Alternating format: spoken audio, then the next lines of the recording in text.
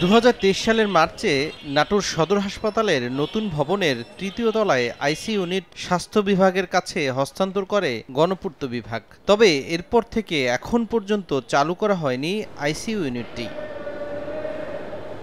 বর্তমানে ICU unit তালাবদ্ধ।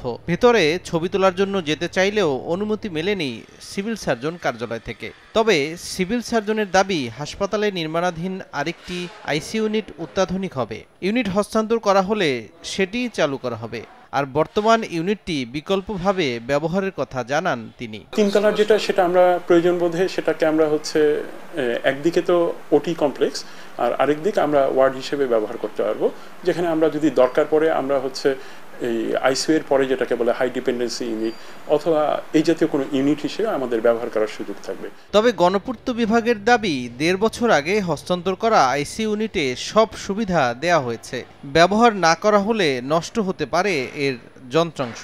দুই হাজার তেইশ সালের মার্চ মাসে আমরা সংশ্লিষ্ট হাসপাতাল কর্তৃপক্ষের কাছে হ্যান্ডওভার করি। ব্যবহার না করলে এটি দীর্ঘমেয়াদী এই যন্ত্রগুলোর উপর একটি বিরূপ প্রতিক্রিয়া করবে এদিকে আইসি ইউনিট থাকার পরও চালু না করায় ক্ষুব্ধ রোগী ও স্বজনরা। এখানে আমরা আইসিইউ তিনতলাতে একটা আইসিইউ আছে কিন্তু বন্ধ।